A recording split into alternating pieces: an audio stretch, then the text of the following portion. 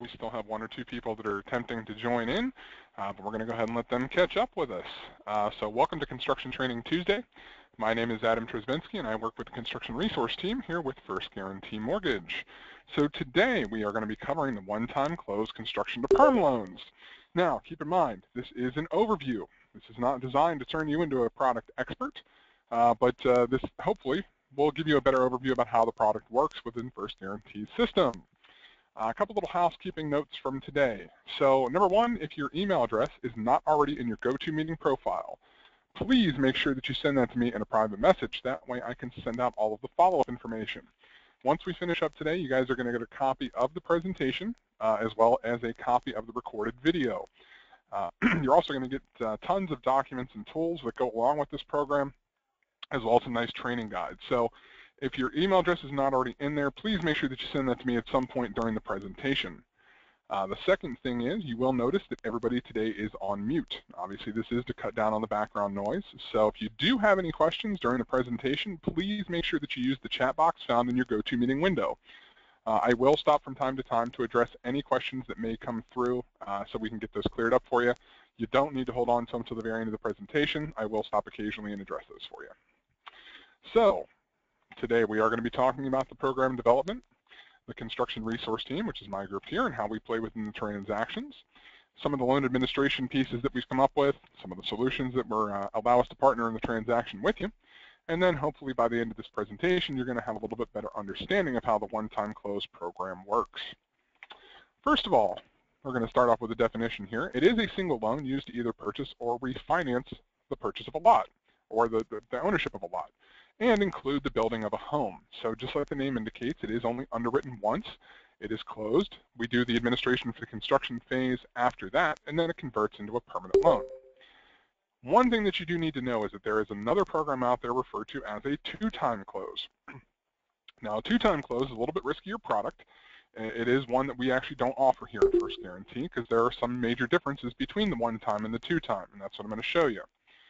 So on the two-time close, a couple things here.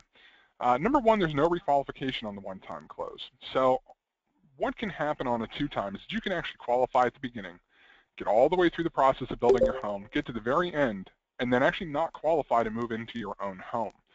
So that is not actually an option on the one-time close. Since we only do this closing one time, uh, you only have to qualify one time. So it, that takes that little bit of risk out of the equation. There's also no need to update the documentation. It's less paperwork. Okay, basically on a two-time close, you have to submit an entire second package uh, to do the the second requalify or to do the requalification or the second approval. So no need to do that on the one time. Also, we don't need a new appraisal. Okay, so this is only done one time up front as a plans and specs appraisal. It is not reappraised at the end. so again, in terms of risk, there's no chance of that coming in with a shortage. So those are some of the benefits to doing the one-time close uh, versus the two-time. You can see that's why we offer the one-time close, is it is a little bit less risk-averse product. So during the process, there are a couple different ways that we protect the interest rate. Okay, that is the cap and float down and the straight extended lock. And we're going to talk more about those as we get into the parts and pieces. So next up, you're going to see kind of an overview.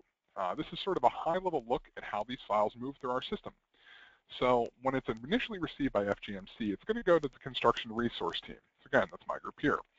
So we're going to do an initial review on these files. And this is where we're actually going to be looking for just some basic parts and pieces. Your loan builder, your contract, your land, lot agreement.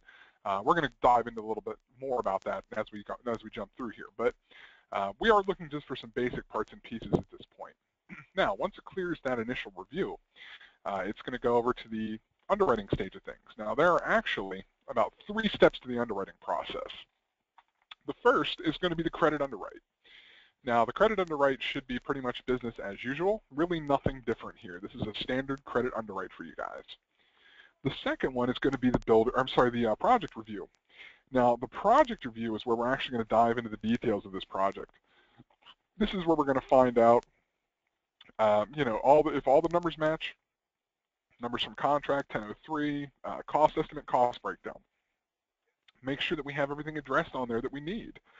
So to give you an example on that one, uh, if the builder had to put in well and septic, okay, because we know that there's no uh, public water and sewer on the property, then we need to make sure that well and septic was addressed on the bid and is currently in the project.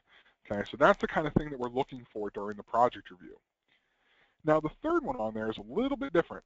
Okay, builder acceptance is actually a little bit outside the norm because builder acceptance can actually be done at any time.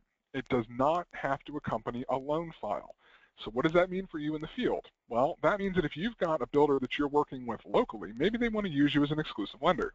Number one, that's fantastic. But number two, what that's going to allow you to do is have that builder pre-accepted. So the next time, or the first time that you get a loan file from that particular builder, you actually won't have to go through this process again. So the builder acceptance process, once they're accepted into the system, uh, they're actually good for 12 months. So as long as we have a deal coming in within that time frame, you know, within every 12 months, basically all we're doing is updating the license and insurance. So if you want to go ahead and get that done, you can actually get that done as far ahead as you would like to if you know that you're going to be getting some business from that builder. Now, if it does exceed the 12 months, then uh, we will actually need to have them do another builder acceptance package. So again, you can do that at any time. It does not need to accompany a loan file. Now, it certainly can, but you are not required to send it in at the time of the loan file submission. You can have that done ahead of time. So from there, you're going to get your you're going to get your conditions, and that can come from either the credit underwrite, the project underwrite, or the builder acceptance side of things. Okay, so you can get conditions from any of those. Those are going to get cleared to, uh, cleared to close, or sorry, those are going to get cleared up, and then you're going to receive your clear to close. We move into the closing at that point. So that is sort of a high-level look. now, we did have a question come in. As a correspondent, do we underwrite the credit package or no? We do not underwrite any part of the package. Uh, that is correct. Basically, if you're doing this as a non-delegated correspondent, you are going to originate, we are going to underwrite the file, and you are going to close it in your name. The difference being is that if it was submitted as a wholesale file, you would originate, we would underwrite, and then we, as FGMC, would close it in our name. So correspondent, no, you have no responsibility to do the underwriting on the file. So that gives you pretty much a high-level look at how these files move through our system. Now, the next four slides, if you took nothing else away from this training today, please make sure it is the next four slides. What you're looking at now is the one-time close scenario request form. The reason this is so important is that these basic questions, there's about seven questions on here, these basic questions are going to provide us with all of the detail that we need to structure this loan for you. Okay, this should always be step one. So basically, once the borrower meets with the builder, builds the house on paper, and they have some idea what their lot situation is going to be, either they have a lot that they're going to purchase and they know the purchase price, or they already have a lot and they know the approximate lien and approximate and uh, approximate value. They're going to once the borrower knows those two things, you can then complete this form. Um, at that point, you should know the months to build. The builder probably has expressed how long it's going to take to build the home. One thing you may not know uh, that you may need to check with the builder or the borrower is how many draws the builder is expecting. The average is usually about five for a stick-built home, uh, a little bit less for the modulars and manufactureds. So filling this form out should always, always, always be step one. So you're going to fill this out and submit it to the construction resource team. A couple things that we need to know on here. Land details, kind of like I had stated already, but is it being purchased or is it already owned? If, you know, if they own it, how long have they owned it? Is there a lien and what is the approximate current value? Construction costs. This is what you need from the builder. Okay, and that should be everything that they need to build this home, including their material, labor, delivery, tie down, setup, skirting, whatever it happens to be everything that they need to give that customer a key and move in. Keep in mind that this number should also include the builder's profit. If the, if the profit isn't shown, we don't know how to calculate for the profit. So when we get these construction costs, the profit should already be built in. Now, months to build, fairly self-explanatory. Uh, however, I will tell you that one best practice on this is going to be to usually add about a month to this estimate. So this is important because when we're doing the estimate for the interest that's going to have to be paid during the process, it's based on the amount of months under construction. So the months to build is very important. If the builder estimates four and they take five, then that's a month worth of interest that may not already be in the account. That's going to have to be paid out of pocket, and usually that's paid by the builder. We don't want that to happen. So If the builder says four months, we would almost always structure that with five just to make sure that we've got a little bit of extra cushion in there just in case something goes wrong. We don't want there to be a cash out of pocket situation for anybody. Estimated as complete value. Now, because this is going to be done as a scenario kind of at the very beginning of the process, you are not going to have an appraisal to use at this point. So how do you figure this out? Well, your estimated as complete value is basically a combination of all the costs involved. So that is your land cost, your home cost, any credits or uh, concessions the builder is going to roll into their contract with the borrower, uh, and then any contingency amount. Okay, you'll be able to get the math on that from the uh, from the scenario sheet. It's uh, well, we'll go over the contingencies when we go through the products, but the contingency can be found on there. Take all those, add them together, add about 8%, give or take. That's going to put you pretty close to the ballpark. You always want this number to be as high as possible but as low as possible as well. So you actually want it to be just high enough to get the project to work, low enough that it's not out of the ordinary. Okay, so basically when you're doing this, you don't want to overshoot your appraisal amount. We did have one situation where somebody had done a scenario and it got all the way through the through the processing part of it before we realized they had overshot their scenario by their appraisal by almost $115,000. You don't want that to end up happening to you. So you want to be, it has to be high enough to make the deal work, low enough to make sure it's going to be right, uh, okay for the area. Uh, and I do see the questions, so I'll jump into those here in just a second once I finish up this page. Finally, EMD regular closing costs and prepaids. EMD is fairly self-explanatory. Uh, just any monies that are currently out there and in play. So if there's been a deposit to the builder, contractor, land seller, whoever it happens to be, any uh, basically any any monies that have been put out there as a deposit.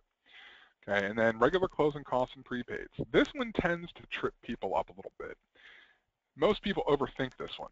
Basically, if you had a $300,000 construction loan walk into your door, and you were trying to figure out what closing costs and prepaids we were looking for, all we're really looking for is what you would normally charge if that was a regular $300,000 loan.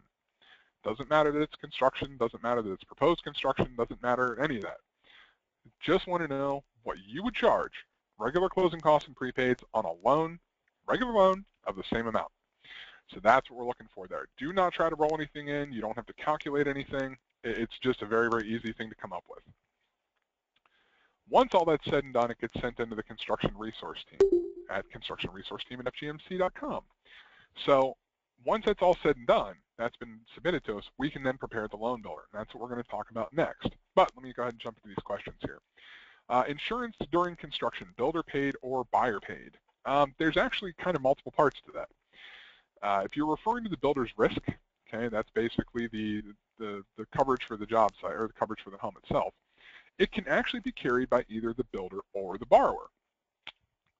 If it's carried by the builder, it's usually held under a builder's risk blanket policy, meaning that the builder has a policy that they then add projects to. Uh, that's a builder that's a builder held builder's risk policy.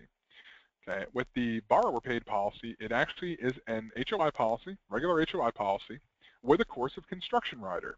Okay, so basically what it is is a builder's risk insurance policy that converts to a standard HOI policy at the end. So that would be a borrower paid. Uh, it's actually more up to the builder than it is anything else. The builder can either cover it or they don't. Um, so it, it's at that point, there really is nothing else to, to go over. Uh, it, either they do or they don't. And if, it, if they don't, it's on the borrower. If they do, it goes under their policy. Uh, then the next question is, how do you calculate the interest? Is there a formula you use? Yes, there is a formula that we use for it. Um, it's kind of long and involved, but the ultimate uh, result of that is that we base our calculations on 70%. Okay, so we always assume that every single month that there's 70% of this construction escrow that has been withdrawn. So that is, we base that on 6.5% interest-only payments, okay, and then that is extrapolated out over the months under construction. So that's sort of the overall for how it's figured out. Uh, we're, I mean, it's built into the loan builder. The actual formula is built into the loan builder. It's not something you would ever really have to use. Uh, if you really actually wanted to know the, the, full formula for it, I could always give that to you, but uh, that is sort of the gist of it. So that's how we're, we're going to calculate the interest. It's based on 70% outstanding, 6.5% interest only extrapolated out over the months under construction. Uh, then Greg, you had asked, uh, will you be covering the challenges with TRID regarding the LE? Uh, not under this presentation, but the nice thing is we've actually made a lot of changes to this program in advance of TRID. So the nice thing is, and, and, usually I cover this a little later on in the, in the presentation, but we'll talk about it now, uh, that the way that these are structured, there's actually nothing to disclose on what used to be the GFE Tiller HUD. Okay, now also that then carries over to the LE, and I'll explain why that is as we get into the products themselves, but you're really not going to notice a change on this one. I mean, you're going to have your change from your standard, uh, you know, your HUD and your TIL and such. You're going to see the change from that. But as far as how these are disclosed, it really isn't much of a change at all. We actually made that change uh, a few months back, actually, uh, to make sure that we would be in TRID compliance going through this. Alrighty, so once the scenario is webinar um, oh. what time close is on the training? I got one. There we go. and one unmuted there. Sorry about that. So once the scenario sheet is done, you're going to submit this to the construction resource team. We now generate the loan builder for you. So that's what we're going to talk about next. Now, when you get the loan builder back, there's actually about six pages total. Okay, now that's going to come back every time that you do a scenario request. Now, the first page that's really going to matter to you is going to be the transaction summary page. Typically, this is the second page in the attachment that we send you.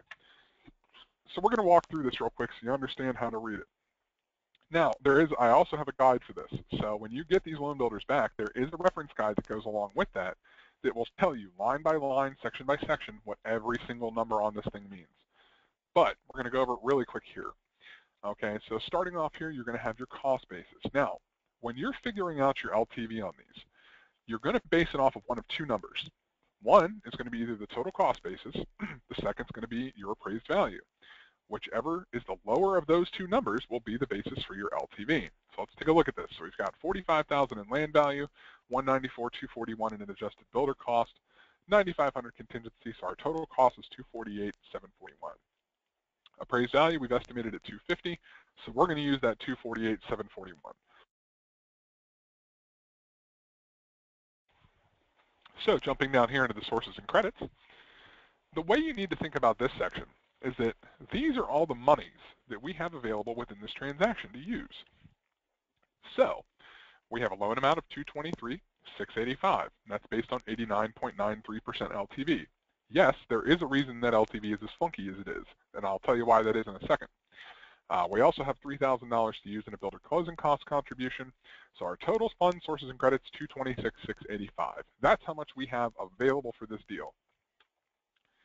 Now we go up to funds required. What do we have that we need for this deal? Okay, well we need 14,000 to pay off the land. We need 194, 241 to pay the builder, 95 to be held in the contingency. We're going to talk more about the contingency later on, by the way. Closing costs, 51.71. Prepaids, 37.73. So we need a grand total of 226.685.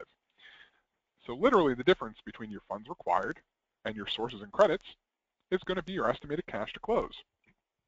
Now in this particular situation, you can see that that is $0. So how did that happen? Okay, well, we take into account the lot equity. So on FHA and conventional loans, you're able to use the lot equity to offset your cash to close. You're able to use that as, as part of your contribution to pay for uh, prepaids, closing costs, so on and so forth. So if we were to use a 96.5% LTV on this, you would actually have gotten cash back to the borrower. Well, since that can never happen, we can never have cash going back to the borrower. We then lowered the LTV until that number became zero. Okay, so we could have done this as a 96.5, but it would have resulted in money back. Okay, to get that money to zero, to make sure the borrower didn't get anything back but didn't owe anything, that's where the 89.93% LTV came from, and that's why we've used such an odd number. So below that, you'll see that there's a contingency meets the minimum requirement, and who's responsible to pay for what during the process. Okay, it's going to be the builder. So that is the transaction summary screen. This right here is your skeleton. Okay, this is the basis for your loan. Pretty much all the numbers that you'll need for this come directly from this transaction summary screen. So the next one I'm going to show you is the builder screen. So this is basically a calculations page that we've come up with specifically for the builder. The builder does not care about 90% of what we've just talked about. The builder really only cares, what do I need to write my contract for? What is the net? What do I need to include? That's exactly what we've boiled this form down to. So you can see in this particular example, we've got $190,000 cost of construction. That's what it's going to cost to build the home. Now, the builder had already planned to pay 3000 in credit. The builder had already planned to pay the 5352 in soft costs, so we're not going to adjust the price for that. They, however, did not anticipate paying the 4241 in interest. So the builder says to us, then I would like to increase my contract price to account for that, so it's not coming out of my profit. Okay, so then what the adjusted builder contract price would be would be 194,241, 190 plus the interest. The builder would then net 181,648. Now you always have the option to roll in your soft costs and prepaid credit as well, just they're not required to do so. Now this can be given directly to the builders. It's not something you have to hold. It's not proprietary. This can be given directly to them so they can see exactly which line items they need, what their net's going to be, and what their contract should be. Next up, this should look pretty familiar. This is actually just the details of transaction from page 3 of the 1003. So this actually pulls all of the numbers from the transaction summary screen, puts them into a mock 1003 details of transaction, and basically just gives you the format. So as long as you copied the numbers directly out of this into your 1003 page 3, you will be perfectly fine. It should mirror ours completely. So this is just in here as a reference guide for you folks to use when you are filling out your 1003 page 3. Last two pages that you're going to see are the appraisal order cover sheet and the schedule of fees. Okay, starting with the schedule of fees. When you hear me refer to the term soft costs, okay, these are the construction loan charges and fees. Okay, so this is where this comes into play. The soft costs are a combination of your construction loan fee, underwriting, draw administration, closing and doc coordination, your, your draw inspections title updates, and if you do happen to be using a third-party document prep company, uh, you can put that in there as well. Uh, MRG is an example one. So, total construction soft costs 5352. There's very little reason you would ever have to deal with these on an individual basis. Uh, usually it's just dealt with as the entire number of total soft costs. The last page is going to be the appraisal order cover sheet. Now, the appraisal order cover sheet should be used when you're ordering the appraisal, so you'll send this over as well. This gives you what the, the land cost, the estimated value would be on the land, uh, the projected construction costs, and the, uh, the estimated contingency. So you would actually take this along with the builder's contract and cost breakdown. That gets forwarded over to the appraiser. The appraiser puts that all together into what's called an as-complete or plans and specs appraisal. Uh, it's going to be based on the existing land value plus the, the home to be built. So it's a future value for what the home will be worth when it's all said and done. So anytime that you send in one of those scenario request forms, you're going to get all those forms back. Okay, that'll all be sent to you as a PDF attachment. So now your borrowers have sat down, you've done the initial scenario request, you've sent that in, we've structured the loan for you, and we've sent your loan builder back. What do you do with it at this point? Okay, well, next up, you're just going to review the entire thing with your clients. Okay, make sure the borrower's comfortable with what their cash out of pocket looks like. Make sure they're comfortable with their payment. You want to also check with the builder. Make sure that they're comfortable with their net. Make sure that they are comfortable with what they're including and what they need to write their contract for. At that point, everybody is on the same page. Okay, now if you haven't done so at this point, you would want to send in your builder acceptance package. Okay, that needs to come into builder review at fgmc.com so we can go ahead and get them through the acceptance process. You're going to go ahead and take the initial loan application just like you normally would. You're going to order your appraisal using the cover sheet that we provide, and then a loan is going to be submitted. Now, when it comes to pricing these, it's going to be a little bit different situation whether you're correspondent or whether you're wholesale. If you happen to be a wholesale submission, you can actually get your pricing directly off the website. There is a link on there to actually sign up for the daily rate sheets. Those rate sheets will be sent directly to you. If you are a correspondent, it is a little bit different. Okay, As a correspondent, you're going to have to work with your secondary department. Basically, when we set up pricing for the one-time close construction, they have specific rate sheets. Okay, I am not able to send you specific rate sheets for those because they have not gone through your secondary department's pricing model. Okay, whenever we send them information, they, they apply their pricing voodoo and then they send it out to you guys in the field. So we cannot do direct distribution rate sheets like that. So you would want to work with your secondary department. If your secondary department is not already getting them for some reason, then please work with your FGMC account executive to address that.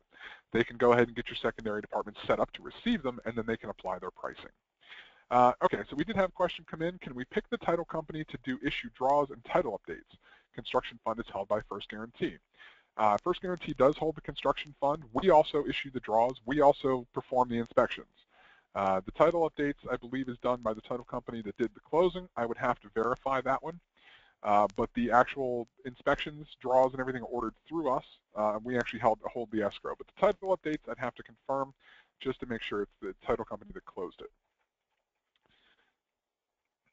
Uh, and then we also had the question, uh, how long does the process take? Now, uh, Greg, when you're talking about the process, are you talking about from submission to close? Or are you talking about a certain part of the process? Oh, just the draw itself. Oh, the draw itself is actually pretty quick. Um, from the time of submission to the time the borrower or the borrower, the builder gets a check, um, five to seven days, give or take.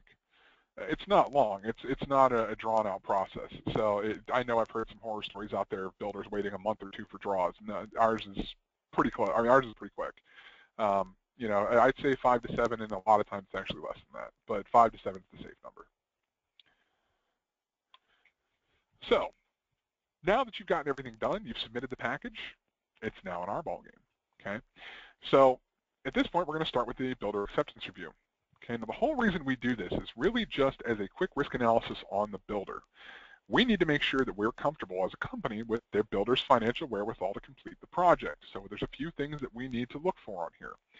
Okay, the, we're going to need their profile, their license, insurance, a couple items that we, the, the builder acceptance package that we'll provide you uh, is going to have that information in there. They'll just provide their license and insurance. A couple things that we look for. Okay, so how long have they been in business and who are the principals of the company? The other items we look for, project history and current projects. Now this one is important because project history and current projects, if you've got a builder that has averaged three to five homes a year for the last five years, and all of a sudden they've got 15 in process at the same time, we may need a letter of explanation saying, hey, you grew your business exponentially over the last year. How were you able to do that? So that's why that's going to be important there. Under the references, we need supplier, subcontractor, and previous project. Now, on the builder acceptance package, there are spaces on there for three of each of those. I highly encourage you, as a lender and uh, as a lender to encourage the builder to provide three for each. We may only need a certain combination of a few, but the more we have to call, the better chance we have of getting that cleared for you. So that's one part of this you don't want to undershare. Always include as many references as possible. Business financials. Now, this is only going to be required on the stick-built modular builders. Okay, we don't actually require this on manufactured, but this is going to take the shape of your W-2s, first couple pages from the last two years, uh, your S-Corps, depending on how you file, P&L, balance sheet, probably some combination thereof. Again, this is done as a snapshot. So one thing to keep in mind is that any builder that we have submitted for acceptance is going to go through a LexisNexis check. This is a business-to-business -business background check for looking for financials.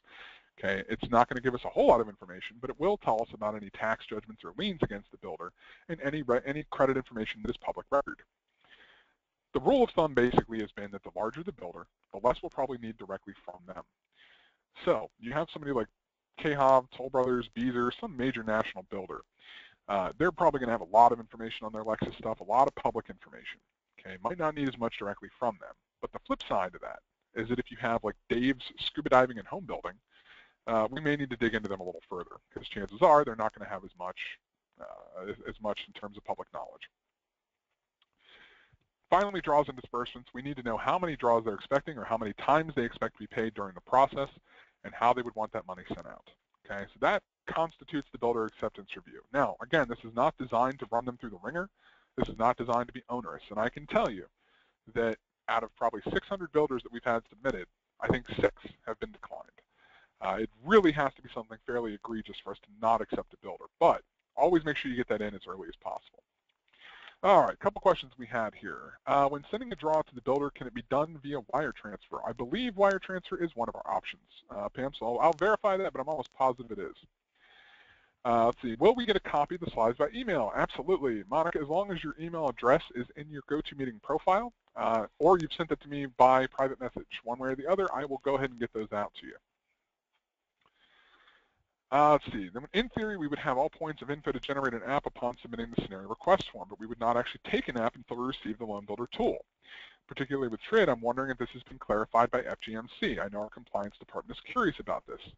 Uh, Chad, that's a great question. Um, get with me after the call, and uh, I'm gonna we'll see if we can get that addressed for you because I'm not 100% sure how the scenario plays into that, uh, but it may need to be researched a little bit. Um, but I can certainly get with you after the call on that one. Uh, let's see, builder, whoa, lots of questions coming in. Okay, builder business tax returns for two years. It's the first two pages for the last two years. Yes, Greg. Um, and then how often do we need to update builder data? Once a year. Um, builder data will actually be updated if you like, let's say you've done a pre-acceptance okay you, have set one in and then you've got your first deal anytime that you send in a deal we're going to then update the license and insurance make sure that it's still current um, it's not something that you would have to do generally speaking uh, it's going to be something that we would do on our end if we looked at the builder and said oh hey their license is up we need to go ahead and get the, their new license information not something you would really have to do on your end now, we may engage you to help us to get it if, if we can't get a hold of the builder, but for the most part, that should be on our end. And then who pulls the business credit report for the builder? That is going to be us. Uh, and keep in mind, Greg, it's not actually, it's not a true credit report. LexisNexis is really just used, it's just a business-to-business -business search to look for public information. It's not like a, it's not like pulling an Equifax. It's, it's just a sort of general search. Uh, really, it just lets us know of any tax liens, judgments on them, and then anything that they've posted publicly. So it's not it's not like an in-depth credit score type report. Uh, it is much much more abbreviated than that. We don't we don't go into pulling a, pulling a full report on anybody. So so that covers the the builder acceptance review. Okay, now one little quick note here on the draw schedules.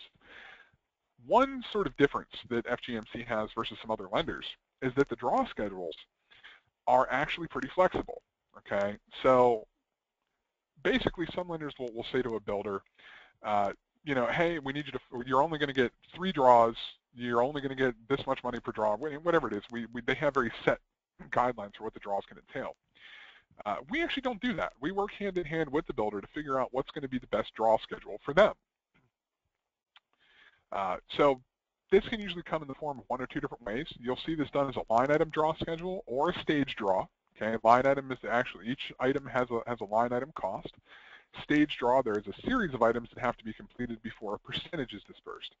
So line item can, is a little bit more flexible for the builder, okay, because they can actually get, you know, line item draws or even partial line item draws. Stage building is a little bit different. Stage, you have to have a whole series of things completed before you would get one bulk payment of money. So we allow for either one. Line item is fine. Draw or uh, stage draws are fine. We allow up to a max of nine draws. Uh, it's you know there, there's some flexibility in there. So we'll work with the builders to come up with with uh, with what works best for them. Uh, and then for the my email address to request a copy of the slides, I can certainly put that in there for you. Uh, but as long as I have your email address, you will get a copy after the presentation. But I will certainly go ahead and put mine in here for you as well. Uh, and then the business financials, Heidi, if you missed it, it was the, uh, the W-2s, first two pages, P&L, balance sheet, or internally prepared uh, documents, or some combination thereof. So that sort of gives you the, the, the, or the, the basis for what we would use. There may be some flexibility in there depending on what they have available, uh, but that's the basics. So that covers us for the builder acceptance and the draw schedules. Now, jumping over into the actual project review side of things. Okay, this is the point that we would actually look at the appraisal. Make sure that we have the as complete or subject to appraisal. Now again, if you're not familiar with construction and renovation lending, this is done as a plans and specs. Okay, so this is a combination of the contract, the plans and specs for the proposed build, forwarded to the appraisal company to combine with the existing land value. That is a subject to future value, plans and specs appraisal. That's how all construction renovation is done. The construction contract, okay, we need to make sure that we've got a, a signed purchase agreement between the builder and the borrower, because really without that, we don't have anything. Uh, the plans and specs for the home, and then the draw schedule and cost breakdown. So this is going to be a little bit more detailed version. This is where they're actually going to outline the various steps. So the draw schedule may indicate, uh, you know, hey, we're paying 10% here, 15% there, 15% here, so on and so forth. The cost breakdown is where everything would actually be lined out. So we have an idea of what everything costs. Okay, this is where the builder would take and do, okay, your framing, your trusses, your roof sheathing, then your exterior sheathing. Then you're on to rough trade, drywall, so on and so forth. So this is where those costs would be broken out. Some builders do it with labor and material, some don't. Not the, not the end of the world to do it either way. So that's what we're looking for when it comes to the draw schedule and cost breakdown. Again, that's the more detailed version of their build. So the next two slides you're going to see here, I am by no means going to sit here and read you line by line because I generally have more respect for your time than that. But uh, we do have the manufactured, modular, and site-built home submission checklist. This is really just to show you that there are a few differences between the two, or between the three, actually, now. That a lot of these forms overlap, but there are specific ones to the construction type. You want to make sure that you're using the correct ones for your construction type. I said a lot of them overlap, some of them don't. So always make sure that you use the correct one. One other thing that I want to show you on this screen, and when you heard me refer at the beginning to that construction resource team initial review, this is what we're actually looking for. So this top section here, this top three documents, these are what my team would be looking for when you send in the file. Okay, so they're looking for a completed loan builder. They are looking for the lot and land acquisition, so that's either going to be a lot contract or you're going to have the lien value and uh, or the lien and value information. And then we need to make sure that we have the home for, or sorry, the contract for the home, the purchase agreement for the home. Those three things are what my team is looking for when this is sent in for an initial structure, or when uh, as an initial submission. So everything else that you see on here, all these other documents, these are the secondary documents. Okay, now while these still, new, these still do need to be done, these do not necessarily need to accompany your initial submission. These do need to be uploaded prior to the issuance of a CTC. So you do want to, you don't really want to waste time getting these in, but they do not necessarily need to come in with the initial submission. Some of these are signed by the builder, some are signed by the borrower, some are signed by both. Okay, so you may have a little bit longer time getting these together. These, as, when you get them, should be uploaded just like conditions. Okay, so they should be they should be uploaded through the portal, just like conditions. If they get sent in via email, a lot of times they get lost. So you don't want that to happen. You want to go ahead and submit that just like a condition would be through the uh, through the portal. So this is just to show you that there is a difference here between those two. Uh, again, this is a this is a copy of something that you are going to get. You are going to get your individual construction packages. Okay, so uh, nothing to nothing really to worry about on there. But just to show you that there is a difference, so that you're aware of that, you're looking for the correct package. Uh, now we did have the question come in. Uh, I guess do we allow the borrower to pay the interest during the construction period? Uh, the answer to that, Gerardo, is no. Uh, at this point, everything has to be built into the builder sales contract. We do not allow the borrower to pay the interest separately. There is a reason for this.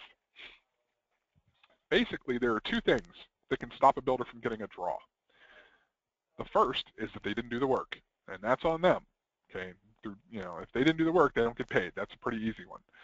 The second reason is that the borrower did not make their monthly interest payment. Okay, so we would then have to hold the draw to the builder until the borrower was able to make the payment. Well, we at First Guarantee guarantee the builder is going to be finished, is going to deliver a finished home.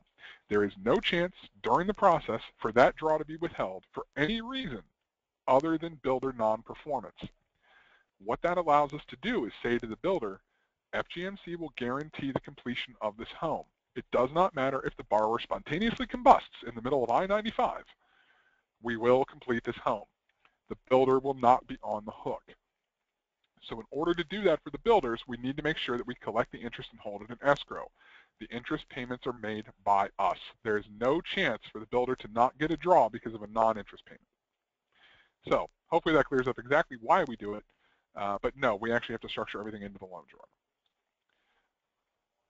All right, next up we're going to talk about the various phases of this project. Okay, there are really only two. We've got the construction phase and the permanent phase. So starting with the construction phase, uh, first of all, I'll say that there are no PITI payments to be made during this process. Can't really have a PITI, PITI payment on something that doesn't exist. So there are payments due during the construction process, and we've sort of just touched on this a little bit, but these are going to be interest only and based on the drawn balance. Okay, so those interest payments do have to be made every month. They are made by our internal draw administration staff. They are never handled by the borrower. The rate for this currently is 6.5%. Again, this is interest only. It is on the drawn balance only. Has nothing to do with the qualifying rate for your borrower. Okay, so don't confuse this rate with the qualifying rate. That is a different animal.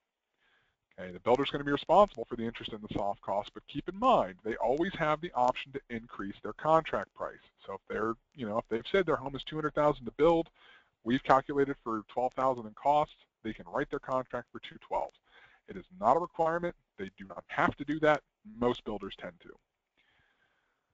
So that is the construction phase. Now, in terms of the permanent phase, this is where we're going to talk a little bit more about those cap and, or the, uh, the rate locks.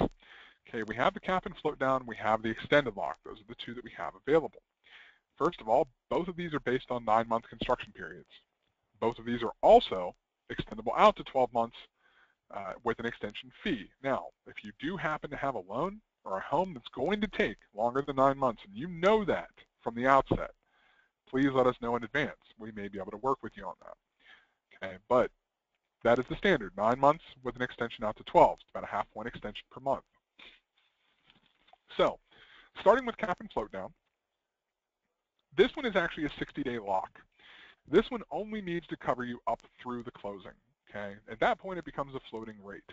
Uh, it then modifies at the end of the process into the permanent rate. So let's do an example here. Okay, so let's say you chose 5% at 102. That was your, your rate and your pricing for it. Now, please don't take me at that. That is, had nothing to do with today's pricing, and these are numbers pulled out of the air. So 5% at 102 that would become your capped rate. The rate could never go above that. So that would then become your qualifying rate also, because that is the highest the rate could ever be. So once we go to closing, the rate becomes floating. Now the floating rate can go up, it can go down, it will have no bearing whatsoever on the borrower. The day that we get to modification, which is really the day this thing becomes a permanent loan, we are then going to go look at the rate sheets for that day, and find out what the closest associated rate to 102 is. Now, if 102 buys you 4.5, then great, the borrower gets a 4.5% interest rate. If 102 now buys you 5.5, well, the borrower still only gets their 5, okay, because that can never be higher than that. That was the very, very top of what they could be in a rate. So it's like an insurance policy. The rate can go down, it can never go up. They're qualified at, at the most their rate could ever be keep that keeping this in mind too. That let's say you chose five percent as your capped rate, and everything stayed static throughout the course of the build. Okay, your rate would actually modify a little closer to four and a quarter.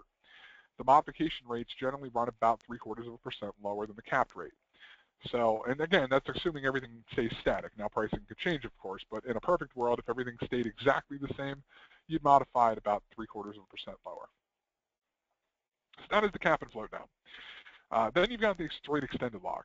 This is a pretty simple one. This is literally just you're locking in the rate today through the entirety of the construction process. The difference really here is that you're going to have to be careful when these lock. Okay, with the cap and float down, it's a 60-day lock, so it really only needs to cover you up through the closing. Pretty easy one to time. the extended lock, however, needs to cover you up through closing and all the way through the construction period. So you need to make sure that you've built in yourself enough time. If you've got a four-month lock, and the builder says it takes four months to build the home, but it then takes us two more weeks to get through the process of the of the file. well, you've eaten up two months out of your lock, or two weeks out of your lock. So you don't want that to happen. Okay, so you want to keep that in mind as to when you're locking it and how long you're locking it for. Has to be enough to cover the entirety of the process plus the construction. So keep that in mind. You always want to look at the pricing for both of these. Generally speaking, the, the extended lock is a little bit higher priced product. Uh, but every once in a while, with the right coupon discount application to the rates, uh, they can be a little bit different. They can actually flip the other way around. Doesn't happen very often, but you always want to make sure that you check both. So those are the two rate lock options that we have currently. Okay, I would say the cap and float down is by far the more popular option at this point, but we do still offer the extended lock for your more meticulous buyer. Uh, and then extended rate lock sounds like it can be a challenge if an extension is required. won't that mess up the trade restrictions? Uh, Greg, good question. I'll have to look into finding out what the trade restrictions are on the rate locks. Um, you know, whether or not the, the standard extension model would still apply here, but I will certainly find out for you. And it, you know, if that's the case, it may end up we we may end up doing away with the extended lock if that becomes an issue. So the cap and float down fits well within the process of TRID. Uh, the extended lock has always been offered as a secondary option, so uh, you know, who knows? If we get it reviewed and it's, it's actually going to mess up the trade restrictions, then it'll probably go away. But uh, for right now, we are still offering both. The next screen that you see here, this is basically in here just as sort of a reminder. This is a form that we get sent in, and it's wrong about 50% of the time. Uh, you just want to make sure that everything on here is filled out completely. Okay, you want to make sure that yes, you filled out the top section information with all, all the originator information and the borrower information, but you also want to make sure that you fill in the various sections down here. Okay, you want to make sure that you check the correct box for the rate lock that you want to use, and then fill out the information for that particular rate lock. You have to fill out the section up top, you have to fill out one of these sections down here, and you have to select one of the sections down here. Just make sure that you're filling this out completely. So, jumping in here to the products, we're going to start here with FHA. Uh, now, we do allow this one to go to 96.5% on the LTV. It does require a 580 or better on the credit score. Now, there is an option to do one-time close if you've got a 530 to 579, and that's going to be the 90% uh, LTV. Okay, so if you've got a 530 to 579, there's still a home for it. You do have 90% LTV availability on that one. To do max financing, you need to be at a 580 or better. We do allow manufactured, modular, and stick-built across the board on these. Okay, that's going to be for all the loan types. Uh, they also have the same contingency requirement. So 5% or $7,500, whichever is more on the stick-builts, 3000 on the modulars and manufactureds. Quick note here on the contingencies. Okay, a couple things. The contingencies, number one, are in there for two different reasons. The first is going to be for any cost overruns. Okay, so the best example I can give you here is that if a builder has to put in a well, they dig down 10 feet and realize that they've hit solid rock. Okay, well now they have to blast. That's going to cost more money. If we have contingency funds available, we can move it over, we can pay out the, the, the blasting company, we're good to go. No, no stoppage, no harm, no foul. If we don't have it, it's a cash out of pocket situation, which again, we're trying to avoid. The second reason that it's in there is for any borrower-initiated change orders. Okay, keep in mind that this loan has closed by the time the construction starts. So whatever selections the borrower have made eh, are in place at that point.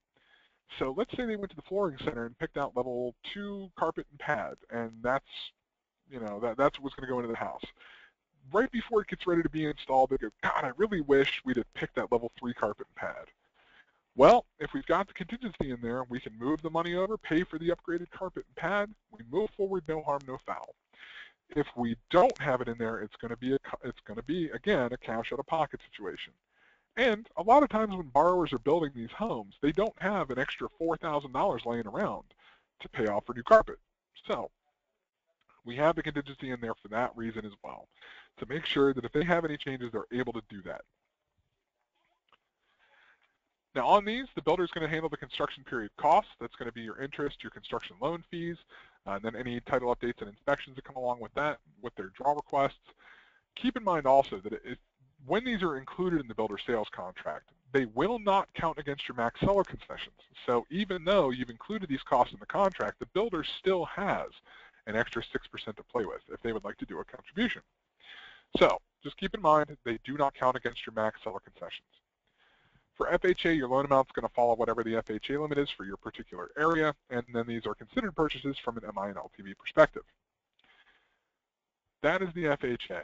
Jumping over into VA, now we do allow up to 100% on these, but there is one thing you have to keep in mind, and that is that VA does not recognize lot equity the same way that FHA and VA or FHA and conventional do. On FHA and conventional, kind of like I showed you in the example there, you're able to use lot equity to offset your closing costs, prepaids, cash out of pocket. VA does not allow you to do that. VA considers that to be equity stripping. So, looking at lot equity on VA, you can use it only to pay down the funding fee.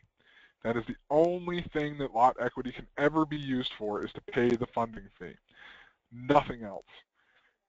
Now, as far as the seasoning requirements go, on FHA there is a six-month requirement to use the value on the land. Otherwise, we'd have to go off the purchase price. Uh, conventional, there is no seasoning requirement whatsoever. You can buy it today and use it tomorrow. But keep in mind, VA does not allow you to use lot equity the same way. We do allow manufactured modular and stick. Again, same contingency requirement, 5% or 7,500 on stick, 3,000 modular and manufactured.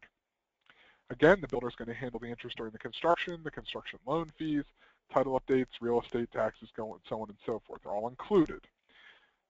Again, keep in mind that if they are builder paid construction costs, they do not count against the seller concessions. One thing also to note, and this sort of touches back on that LE question from the beginning. Keep in mind this was designed uh, off of the old system, of course. So whenever those fees are rolled into the builder sales contract, there is nothing to disclose.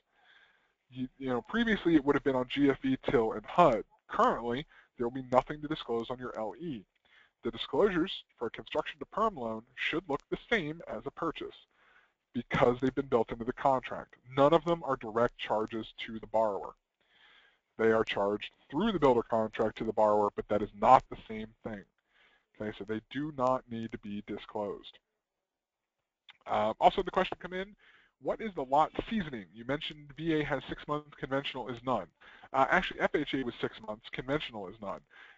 The seasoning, period, the seasoning period is the amount of time it takes before we can use the appraised value of a lot as opposed to the purchase price. So if the lot was 30,000, it's now worth 40,000, but you've owned it less than six months, we'd have to use the 30,000 on FHA. If the lot was 30,000 and worth 40,000 on conventional, we could use the 40,000 because there is no there is no seasoning requirement. So yeah, it's just the length of time before we're able to use appraised value versus purchase price. Finally, we're going to finish up here with conventional is the last product we have. This one is a little bit different too. Um, this one, the LTV is going to be capped at 70%. Now, there is a reason for this, and that is that once you get above 70% LTV, or below a 700 credit score, Fannie requires you to requalify at the end of the loan. Well, that then becomes a two-time close. Okay, so in order to keep this in the bounds of a one-time close product, we need to make sure that that LTV is 70% or less, credit scores are 70% or 700 or more. So anything deviating from that, if you're under 700 or over 70% LTV, it's going to be a two-time close. That is a product that we don't offer. So again, keeping this with a true one-time close, we keep those limits. None of these products are set up to do investment properties. However, this is the only one that will allow you to do a second home. Now, you're still going to have to follow the second home guidelines from Fannie, but this is the only construction project or product that will allow you to do a second home. Same contingency requirement, 5% or $7,500 on the stick, 3000 for modular and manufactured. Again, the builder is going to handle the costs. They do not count towards your max seller concessions, and they are not going to be disclosed on your LE. Another difference here, just in terms of the conventional, okay, these do have to come in with a DU approve eligible. There's no manual underwrites on these. FHA and VA allow you to get in with, you know, with the approve, uh, with the approve refer uh, or refer eligible. Uh, this one does have to come in with an approved eligible. There's no room on conventional to, to do a manual. And then LTV on the conventional is the same for primary and second home, correct? Uh, yeah, actually the requirement I think technically is 80% on a second home, but in order to keep it within the bounds of a one-time close, it's going to have to match the 70 anyway. So yeah, the LTV would be the same regardless. So just to sort of finish up here with you guys, um, we do have the construction resource team. Again, that's my group here. We are here to operate as the backstop and safety net for you guys on these loans.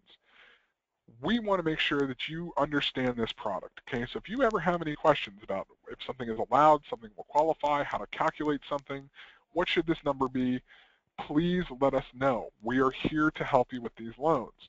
We are here as a resource. Okay, we want you to sort of take the Henry Ford approach here. You don't have to know everything about the product. You just need to know who does. Well, we're the ones that do. So please make sure that you use this as a resource. Um, and of course, I know we've got some questions in here regarding TRID that we're going to have to get answered up, but again, we will get those answered and taken care of. So that's exactly what you have the construction resource team here for. Um, you know, please, if you have any questions, feel free to reach out and contact us. So little quick overview here for you. Again, your loan builder calculations, you want to get that scenario sheet sent in to us first. That should always be number one. The builder acceptance package gets sent in. That should get sent to builder review at fgmc.com. You're going to register and upload your loan through the portal just like a normal loan would be. It goes through the various underwriting processes. We're going to get the submissions uh, collected and cleared up, and then that goes into closing. So I'm going to leave this last screen up here for you, which has got our email addresses on here. Um, that is the end of the presentation for today, guys. Thank you very much for your time and attention. I greatly appreciate it. I hope you learned something coming out of this. Um, if you do have any questions or anything, I will certainly stay on the line here for you. If you do not have any questions, I just want to say thank you and I appreciate your time, and we look forward to your first submissions. Uh, but I will address any questions that have come up at this, uh, that are going to come in at this point. Um, then did the question come in? Will you be emailing any information that you got back in regards to the TRID questions? Um, yeah, I can certainly take down the information here uh, and let everybody know what the answer is on that. It may not be today. We're going to have to get with my compliance department to, to verify some stuff, but I can certainly send that out, sure.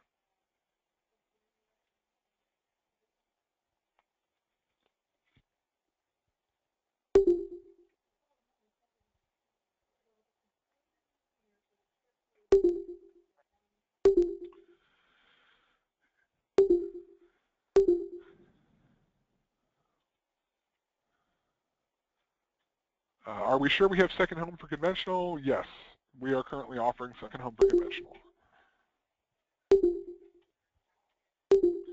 Uh, will you be using the LE for all broker wholesale loans? I would assume so. Um, you know, if you, your account executive may have, if you've done, if you're doing wholesale, uh, your account executive may be getting with you shortly to, to go over that. But um, as far as I know, we're, uh, as far as I know, the LE will be issued. Yeah, by I believe it's actually going to be by us. But uh, that your your AE would be able to give you a little bit better direction as to.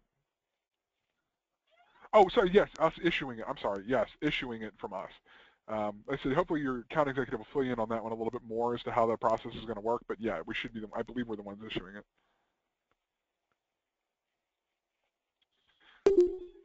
Uh, Sandy, who's your AE? I'll make sure I get in touch with them.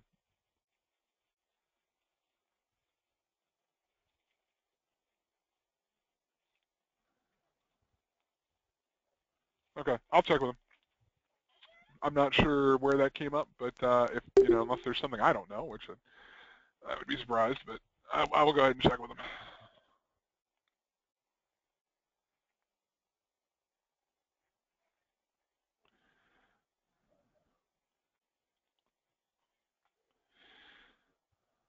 So can we go over the part about wholesale lenders versus correspondent? Sure. Um, really, this is uh, it's going to come down to your pricing for the most part. Um, wholesale and correspondent get their pricing from slightly different places. As a wholesaler broker, uh, you're actually going to get your pricing from our website. You can actually go to our website and sign up for the daily rate sheets. They just come directly to your email. That's super. That's simple. Correspondent side is a little bit different because correspondent usually gets pricing applied by your secondary department prior to it going to you. So that prevents us from being able to send pricing directly to you. Usually we have to go through your secondary department. So they're going to have to apply their pricing voodoo, and then they'll send it out to, to you guys in the field. So that's the, when you're getting pricing for your correspondent side, you check with your secondary department first. If they are not getting the rate sheets from FGMC, please work with your account executive, and they can go ahead and get you set up to receive those. Um, normally we, we do that on a company by company basis. So, you know, if, if one person in your company gets it, everybody should be able to have access to it. So that's really sort of the major difference. Uh, the other difference is in how it actually gets underwritten or how it gets closed. Um, so that would be a, a correspondent, you would originate it, we would underwrite it, and then you would close it in your name. As a wholesale, you would originate it, we would underwrite it, we would close it in our name. So that's kind of the difference is how these would actually work through. Uh, C, I'm not sure what the C2 abbreviation is for, uh, Laurie. Is it the construction to perm? Is that what you're trying to abbreviate there? Because um, if that's the case, then yes, it, is available wholesale brokered or as a non-del correspondent. Uh, they're, they're available both ways. It just depends on how your company wants to submit them. Uh, then as far as FHA, is the lot equity, or if the lot equity is there, we still need 3.5% cash contribution for the loan, correct? The loan equity just adjusts the LTV. The contribution is actually taken into account when we do the loan builder. So like when I showed you that example that has $0 cash to close, that took the 3.5% contribution into account.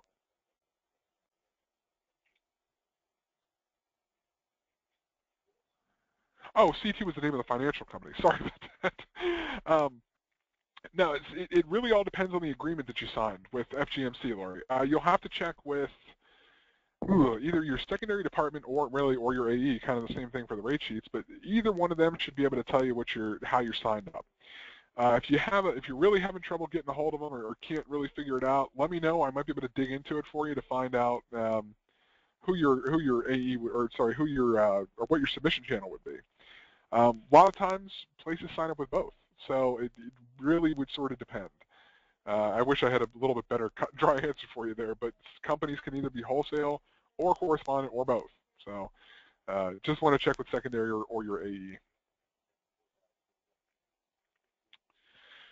Alrighty, folks, that's going to put us right at 3 o'clock here, so we're going to go ahead and sign off. Uh, you will see your uh, follow-up email coming here shortly. Uh, Sandy, I got your number there, so I'll go ahead and take care of that. And, uh, yeah, so from here on out, if you do have any questions, please make sure that you email the construction resource team. You've got the email address right up there on the screen there for you. Uh, once I send out the follow-up information, you will also have my direct contact info as well. So if you do have any questions, please make sure that you let us know. If not, thank you again for your time and attention today. I appreciate it, and we will look forward to your first submissions. Thank you very much, folks. Have a good one.